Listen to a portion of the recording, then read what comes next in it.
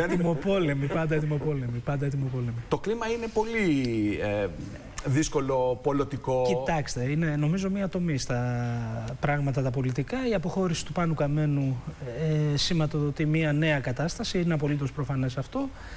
Και ε, γι' αυτό βλέπουμε και τις διαρκείς έτσι, μετατοπίσεις και μεταλλάξεις και της γραμμής της ε, αντιπολίτευσης, της όλης αντιπολίτευσης και της αξιωματικής και της Ελλάσσονος.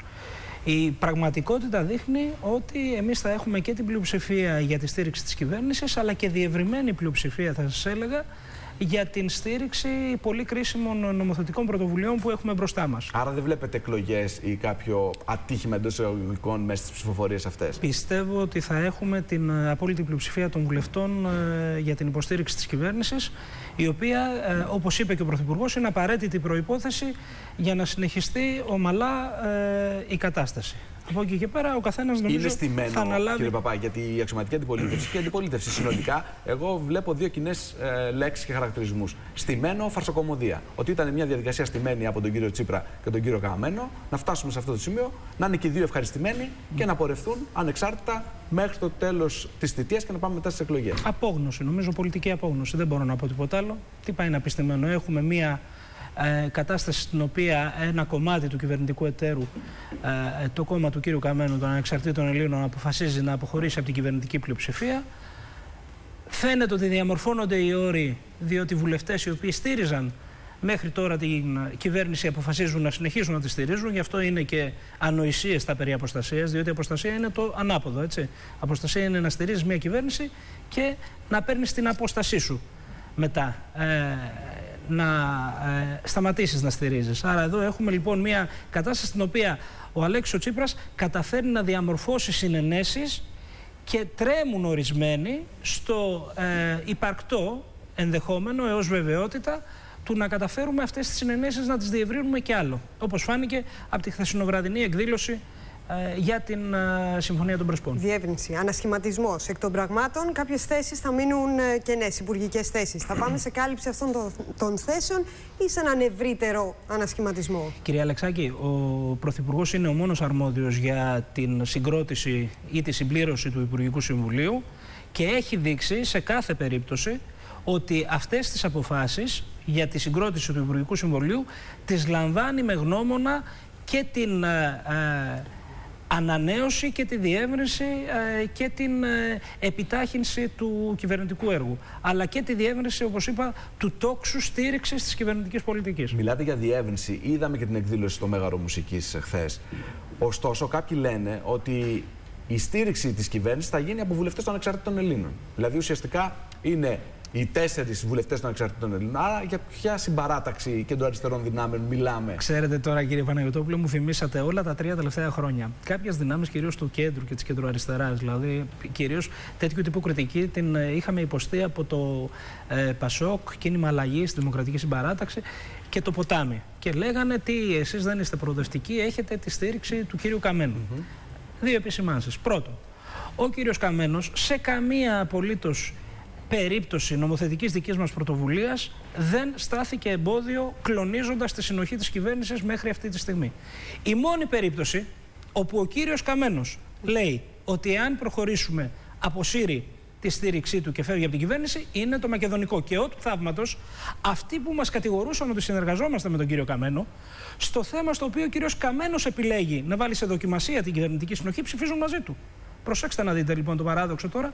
Άρα νομίζω η κριτική περί ετερόκλητης συμμαχίας είναι κάτι το οποίο ε, δεν μπορεί να ευσταθεί και κυρίως ε, στερείται και αξιοπιστίας όταν εκτοξεύεται από πάρα πολύ συγκεκριμένα πολιτικά κέντρα. Τον αδειάσατε τον Πάνο Καμένο στη στροφή, δηλαδή βλέποντας ότι πάμε σε εκλογές και υπήρχε και η κριτική και από το εσωτερικό του ΣΥΡΙΖΑ σε σχέση με αυτή την συγκυβέρνηση με τον ε, Πάνο Καμένο. Κύριε για κάποιους ήταν βαρύδι. Κύριε τώρα, τον, τώρα που βλέπετε την τελική ευθεία, τον αδειάσατε στη στροφή. Κύριε Παναγιώτοπουλε, νομίζω ότι δεν έχει εκπλαγεί κανείς.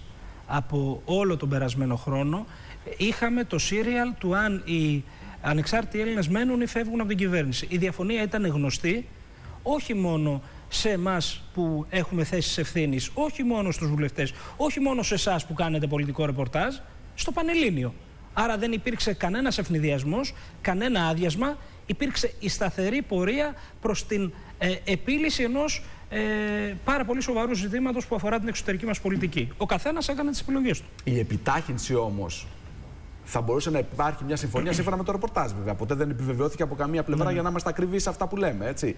Ότι υπήρχε μια συμφωνία να πάει και να έρθει να κυρωθεί η συμφωνία των Πρεσπών Φεβρουάριο, Μάρτιο, ναι. εκεί κοντά στις εκλογές του Μαΐου. Εντάξει, για να έχει το χρόνο και ο κ. Υπάρχουν, δύο παράγοντες, υπάρχουν δύο παράγοντες. Ο πρώτος είναι το, το γράμμα της συμφωνίας των Πρεσπών, το οποίο θέλω να υπενθυμίσω στους τηλεθεατές μας ότι προβλέπει ότι η Ελλάδα τελευταία έρχεται να επικυρώσει ε, τις υποχρεώσεις της όπως αυτές προβλέπονται από τη συμφωνία. Αφού δηλαδή η γειτονική χώρα όπως και έχει κάνει μέχρι τώρα και αυτό είναι πάρα πάρα πολύ σημαντικό, κρίσιμο και θετικό ε, κάνει όλα τα βήματα τα οποία ε, προβλέπονται. Άρα λοιπόν εδώ πέρα έχουμε μια πραγματικότητα στην οποία έχει ο γειτονάς μας τις υποχρεώσεις του ε, ολοκληρωμένες και είναι η σειρά μας. Είχατε κι εσείς και καλά το επισημάνατε ε, δει την προοπτική του να πάει λίγο πιο πέρα η ψήφιση. Αυτό θα είχε ως προπόθεση, κύριε Παναγιοτόπουλε, να σταματήσει και η παραφιλολογία του αν η κυβέρνηση πέφτει σήμερα, αύριο ή μεθαύριο. Αυτό δεν έγινε, δεν κατέστη εφικτό. Και εφόσον αυτό δεν κατέστη εφικτό, ο Πρωθυπουργός, ω όφιλε, και όπως έχει δείξει και κατά το παρελθόν, ζήτησε να υπάρξουν απολύτως καθαρές κουβέντες και καθαρές λύσεις. Και καθαρή ψήφο εμπιστοσύνης, γιατί εδώ μετράμε τώρα. Κάνουμε την αριθμητική. Ναι, ναι, ναι. Η κυρία Κουντουρά πριν από λίγο ε, έκανε δήλωση, στηρίζει την κυβέρνηση. Οπότε τα ερωτηματικά που υπήρχαν σε κάποια στελέχη ε, βουλευτές των ανεξαρτήτων Ελλήνων αρχίζουν και φεύγουν. Άρα και η κυρία Κουντουρά αθρίζεται σε αυτή την πλειοψηφία. Ε, αν έχουμε 150 ο κανονισμός και το Σύνταγμα σας δίνει τη δυνατότητα και με 150 να προχωρήσετε. Θα προχωρήσετε αν δεν είναι 151. Νομίζω ότι ήταν πάρα, πάρα πολύ σαφής ο Πρωθυπουργός. Είπε ότι αν δεν έχουμε 151, εν ευθέτω χρόνο θα πάμε σε εκλογές. Και εν ευθέτω χρόνο σημαίνει αφού ολοκληρωθούν κάποιες βασικές κεντρικές νομοθετικές μας πρωτοβουλίες που αφορούν τη στήριξη της κοινωνίας. Αύξηση του κατώτατου μισθού, προστασία της πρώτης κατοικίας, 120 δόσεις για τα χρέη προς το δημόσιο. Ε, νομίζω δεν επιδέχεται παρερμηνίων αυτή η δήλωση. Είναι απολύτως σαφής και δεν καταλαβαίνει μόνο όποιος δεν θέλει να καταλάβει. Άπαντες είναι πρώτων ευθυνών τους και κυρίως, θα σας έλεγα, οι ηγεσίες οι οποίες πονηρά σιωπούν αυτή τη στιγμή σε σχέση με τη Συμφωνία των Πρεσπών, ενώ έχουν βρεθεί σε θέσεις ευθύνης, έχουν υπηρετήσει την εθνική γραμμή που υπηρετήσαμε κι εμείς και τώρα βεβαίως για άλλου τύπους σκοπιμότητες έχουν είτε κλείσει το στόμα τους είτε υποκριτικά πάρει θέση απέναντι. Οπότε, εφόσον πάρει ψήφο εμπιστοσύνης η κυβέρνηση, εκλογές τον Οκτώβριο. Απολύτως, βεβαίως. Είμαστε, νομίζω, πεντακάθαροι ότι πρέπει να ολοκληρωθεί η κυβερνητική θητεία. Έχουμε μια πορεία της οικονομίας στην οποία ε, πυκνώνουν τα θετικά σημάδια, μια επίμονη ανάκαμψη η οποία αποτυπώνεται και στην απασχόληση, 380.000 νέες θέσεις εργασίας, ε, η ανεργία στο 18% και θέλουμε αυτή η πορεία να συνεχιστεί. Να σας πω τι έλεγε το Bloomberg ε, χθες. Είχε οικονομικούς αναλυτές που ανέφεραν ότι η Ελλάδα βρίσκεται σε μια παρατεταμένη προεκλογική περίοδο με όλη αυτή, τη, όλη αυτή την κατάσταση. Το καλύτερο ε, έλεγαν αυτοί θα ήταν να γίνουν σύντομα οι εκλογές ώστε να τερματιστεί η αβεβαιότητα. Υπάρχει μια αστάθεια στην Ελλάδα. Απολύτως, υπάρχει αβεβαιότητα. Καμία απολύτως αβεβαιότητα δεν θα υπάρχει από την Τετάρτη και μετά, θα έχουμε μια καθαρή ψήφο εμπιστοσύνης. Και θα σας έλεγα, κυρία Αλεξάκη, επειδή ε, το πολιτικό περιβάλλον έχει σημασία κάποια φορά. Παρακολουθούσα έτσι την προηγούμενη ενότητα της συζήτησης, mm. όπου έγινε μια αναφορά στη διακυβέρνηση Καραμαλή, η οποία είχε 151 mm -hmm. ε, βουλευτές. Εκεί ήταν πάρα πολύ συμπαγές το πολιτικό περιβάλλον και η κοινοβουλευτική σύνθεση. Τι θέλω να πω, ότι αυτή η σύνθεση της Βουλής όχι μόνο θα μας δώσει μια καθαρή πλειοψηφία στήριξη, το πιστεύουμε βαθιά, αλλά έχει και τη δυνατότητα να αποτυπώσει αυξημένες πλειοψηφίες σε κεντρικές νομοθετικές πρωτοβουλίες. Άρα λοιπόν εδώ γεννάται και ένα ερώτημα αναντιστοιχίας θα σας έλεγα της πολεμικής την οποία αντιμετωπίζουμε από συγκεκριμένα κομμάτια της αντιπολίτευσης και της επιλογής τους να υπερψηφίζουν σημαντικά κομμάτια της κυβερνητικής πολιτικής. Είναι κάτι καινούριο αυτό για τα πολιτικά δεδομένα της χώρας. Και εδώ, πέρα από την αριθμητική και την επιβεβαίωση ε, της εμπιστοσύνης στην κυβέρνηση, όταν θα ολοκληρωθεί η διαδικασία και αν έρθει αυτή η επιβεβαίωση και η εμπιστοσύνη, υπάρχει αυτή η πλειοψηφία που μας περιγράψατε. Αυτή η πλειοψηφία που, όπως την περιέγραψε ο Μανώλης Κοτάκη, ακορντεόν. Ε, δίνει και την πολιτική σταθερότητα. Δηλαδή, πέρα από τα αριθμητικά, τα συνταγματικά, υπάρχει η πολιτική σταθερότητα και αυτό η πολιτική ακριβώς, αυτό δυναμική στην αυτό κυβέρνηση ακριβώς να προχωρήσει. είπα, αυτό ακριβώς είπα, κύριε Παναγιώτοπουλε. Διότι αν υπάρχει μια κυβέρνηση η οποία έχει μια καθαρή κοινοβουλευτική πλειοψηφία στη διαδικασία της ψήφου εμπιστοσύνης και νομοθετικές πρωτοβουλίες, οι οποίες ε, διαμορφώνουν συνενέσεις πέραν της κυβερνητικής πλειοψηφίας, βεβαίως διαμορφώνεται κλίμα πολιτικής σταθερότητας. Τι δηλαδή, μια κυβέρνηση η οποία έχει πρώτον σαφώς τη δεδηλωμένη και δεύτερον διαμορφώνει και ευρύτερες πλειοψηφίες στις κεντρικές νομοθετικές της πρωτοβουλίες. Αυτό θα ήθελε και ο λαός μας να δει. Να μου πείτε εσείς ή να ρωτήσετε τα κόμματα τα άλλα. Θα καταψηφίσουν την πρωτοβουλία μας για τις 120 δόσεις, για την επέκταση της προστασίας της πρώτης κατοικίας, για την αύξηση του κατώτατου μισθού; Για να δούμε λοιπόν εδώ ποιες θα είναι οι θέσεις οι οποίες θα πάρει η αντιπολίτευση, η οποία κατά τα άλλα ξυφουλκεί εναντίον μας με χαρακτηρισμούς πολλές φορές οι οποίοι είναι ανίκοι. Η πολιτική σταθερότητα λοιπόν για την κυβέρνηση είναι δεδομένη. Από εκεί πέρα το πολιτικό κλίμα, αυτό που περιέγραψε η Μαρία σε σχέση με τα δημοσιεύματα, δηλαδή ένα κλίμα μιας ε, υπερβολικής πόλωσης ε, από την πλευρά της αντιπολίτευσης σε σχέση με την κυβέρνηση. Ακούμε πράγματα και διαβάζουμε πηχαίους τίτλους από ρετάλια, συναλλαγές, Γυρολόγοι. γυρολόγοι. Ε, και βέβαια είχαμε και το περιστατικό στο τέλος της εβδομάδας με τα απειλητικά SMS που έχει παρεύει και η δικαιοσυνη Είναι ένα ε, τοξικό κλίμα. Κοιτάξτε να δείτε, ε, θα συμφωνήσω ότι υπάρχουν στοιχεία τοξικότητας, τα οποία καλό είναι να, να μην ε, έτσι, διαχέονται στο δημόσιο πολιτικό διάλογο. Είναι πάρα πολύ φτηνή η κριτική, νομίζω, ε, η οποία γίνεται περί τάχα μουρεταλιών, συναλλαγών κτλ. κτλ. Ε, να σας ε, υπενθυμίσω μόνο το εξής. Υπάρχουν βουλευτές οι οποίοι ε, στηρίζουν εδώ και πάνω από 3-3,5 χρόνια την κυβερνητική πολιτική και συνεχίζουν να το κάνουν. Υπάρχουν άλλοι οι, οποίες, οι οποίοι πήραν μεταγραφή στη Νέα Δημοκρατία, οι οποίοι Σάββατο βράδυ λένε καλή η συμφωνία των Πρεσπών και Κυριακή πρωί το κάνουν γαργάρα για να συναντηθούν με το Μητσοτάκι και να μπουν στην κοινοβουλευτική του ομάδα. Στον κύριο ε, Θεοχάρη αναφέρεστε. Δεν θέλω να πω ονόματα. Δεν θέλω να πω ονόματα, αλλά γνωρίζει νομίζω και η πολιτική και δημοσιογραφική Ιερουσαλήμ και γνωρίζει και η Νέα Δημοκρατία. Το πώς έχουμε οβιδιακές μεταμορφώσεις κάποιων ακριβώς για να εξασφαλίσουν μια θέση στα ψηφοδέλτια. Αυτή είναι συναλλαγή. Συναλλαγή δεν είναι όταν έχεις μια σταθερή γραμμή, την υπηρετείς και μάλιστα την υπηρετεί με καθαρές κουβέντες απέναντι και στο Κοινοβούλιο και στα άλλα κόμματα και στο λαό. Θα ήταν πάρα πολύ καλό λοιπόν να εκλείψουν τα τοξικά στοιχεία στην πολιτική αντιπαράθεση. Αλλά κύριε Παναγιοτόπουλε και κυρία Αλεξάκη, επιτρέψτε να σας πω το εξής. Με την ολοκλήρωση του μνημονίου έχει φύγει ε, πάνω από τη Νέα Δημοκρατία η Ευρωπαϊκή Προβιά. Την έχει πετάξει. Τη είναι απολύτως άχρηστη. Τη φόρεσε το 2012 υποδιόμενη ε, την παράταξη η οποία τάχα μου θα έσωζε τη χώρα από το ΣΥΡΙΖΑ, ο οποίος θα την έβγαζε τη χώρα από το ευρώ. Έκλεισε όμως αυτή η περίοδος, έκλεισαν τα μνημόνια. Και τι έμεινε γυμνό, έμεινε γυμνό ένα πρόγραμμα το οποίο θέλει ασφαλιστικό πινοσέτ που θα παίρνουμε συντάξεις εάν μας κάτσει καλά το χρηματιστήριο. Μια κατάσταση στην οποία τον ένφια θα τον αναλάβουν οι Δήμοι και οι πλούσιοι Δήμοι θα έχουν τη δυνατότητα να προχωράνε σε καλές υποδομές και καλές υπηρεσίες προς τους πολίτες και βεβαίως ρυθμίσεις στην αγορά εργασίας οι οποίες είναι απέναντι στην προοπτική της επανάκαμψης των συλλογικών διαπραγματεύσεων και της αύξησης του κατώτατου μισθού. Τα οποία η Νέα Δημοκρατία τα ονομάζει ναι. ιδεολειψίες της αριστεράς. Η Νέα Δημοκρατία σας κατηγορεί ότι άλλα υποσχεθήκατε.